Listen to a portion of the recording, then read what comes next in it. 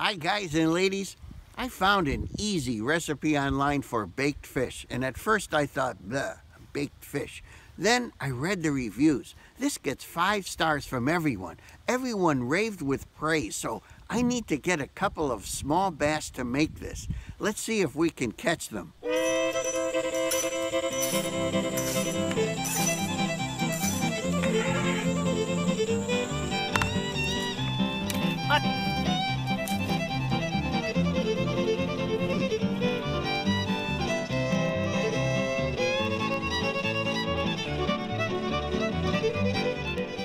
So I'm going to start off with this. It's a little 1 8 ounce nondescript spinnerbait.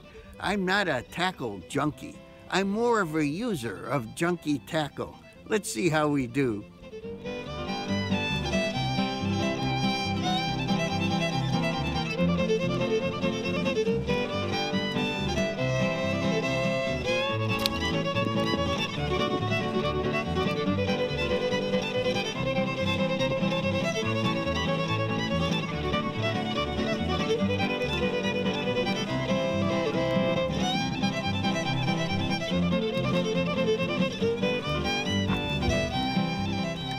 This is the size we need to remove from the lake anyway, and it's the perfect, perfect size for eating.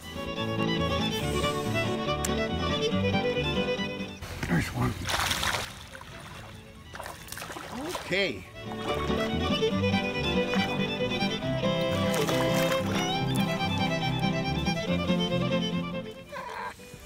Another one. This is what I'm looking for.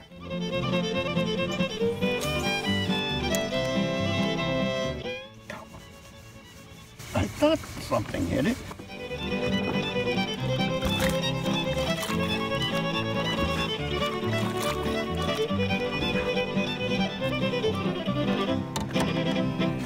That's a that's gonna about do it. This is just the kind I need to remove from the lake.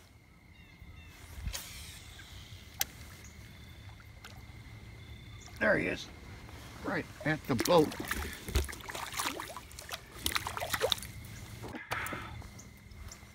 My other fish got excited when they saw this guy.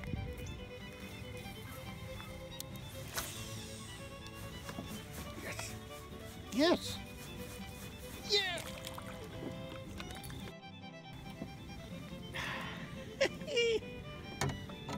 Would have thunk a big crappie? Wow. They like these smaller bass lures, you know. That's a nice little crappie. I'll use him for extra food in case we need it. Almost uh, 13 inches. Let's go fillet the fish.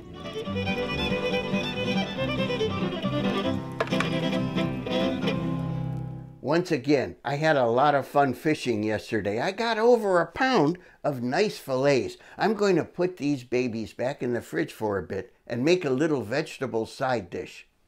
I've never done this before. I'm trying to cook green beans in three quarters cup of salted water. These are frozen. I'm supposed to boil this. I don't know how much salt to put in the water, so I don't know. Teaspoon maybe? We got the water boiling and here's the package of green beans. Some of it went in the pan and uh, the rest went on the stove. Now I've got to bring this water up to a second boil, then cover it for like eight minutes to cook our beans. You know, I could have used canned beans. They were already cooked, but no. I thought this might be fresher, and now I'm sorry. It's more work. I'm going to drain this now. It's really boiling.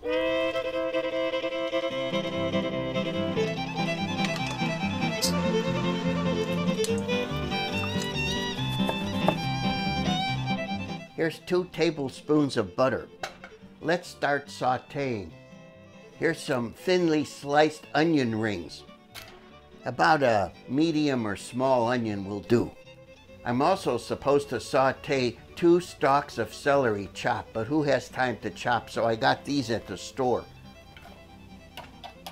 Here's a four ounce can of mushrooms. This whole thing has to saute for about 20 minutes. So what I'm doing now is greasing this 8x8 casserole dish. It's been about 25 minutes, that's plenty. Let's get this into our casserole dish here. Now I'm going to add our green beans.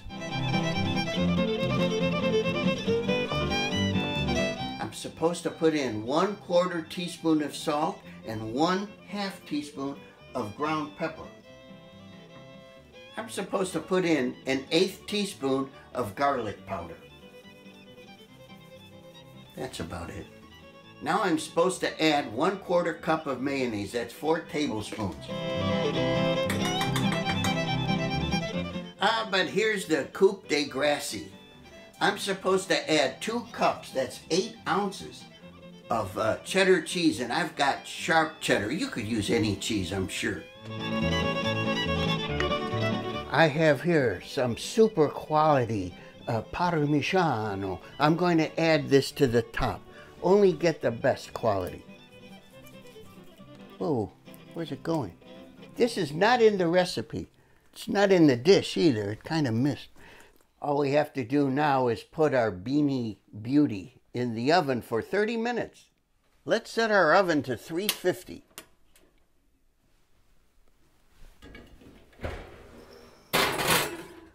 While our casserole is in the oven, I, I, might as well tell you all the famous celebrity restaurant and food critic, everyone knows her, Miss Lulu Cheeks herself, is coming over for dinner tonight. I wish we could get our relationship up to that next level. You see, I've been courting her for 50 years now. Yes, I, I love her, but I've never summoned the courage to tell her so. I, I guess I fear rejection. I, I wonder if I can somehow let her know without saying it in words.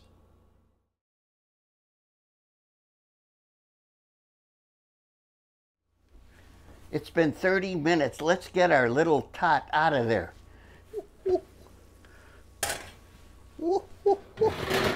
Wow. It's a bubbling mass of deliciousness.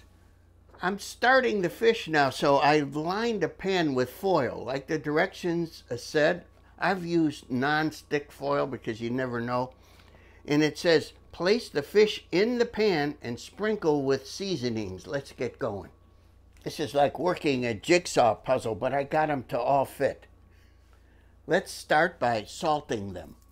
Let's add some pepper, onion powder, cheese, mayonnaise. I got about a half cup here. It says a quarter cup, but you know. It says a pastry brush. I don't think this is a pastry brush. I don't know. Looking good. Now it says top with a generous sprinkling of paprika. I used to call it paprika for like 60 years. It's paprika. Paprika. It's all paprika'd up now. I'm supposed to bake it in an oven at 325 for 20 minutes, but it's thin, so maybe 15. It's time. Let's have a look. It's been 15 minutes.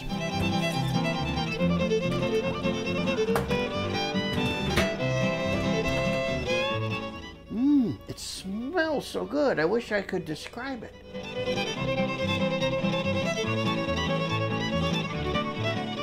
Well, here we are once again with that famous celebrity food critic, Miss Lulu Cheeks herself. Thank you so much for stopping over my home. And uh, I uh, trust that you enjoyed your dinner. What did you think of my banquet of bubbling baked uh, green beans and beautifully bronzed baked bass? Oh, it was delicious. Both of them were excellent. I enjoyed every bite I had. Really? Every bite of the bass and every bite of the beans. Lots of bites. Yes. And of bass. Yes. And beans. you know, Miss Cheeks, I, would like to give you something. Could you hold on just a second? Sure. Thanks. Sure. Here, these are for you. Oh, they're lovely. Thank you so much. What do you Hmm. think? I think this is the beginning of a beautiful friendship. Oh, uh, well, close enough. Can I have a hug?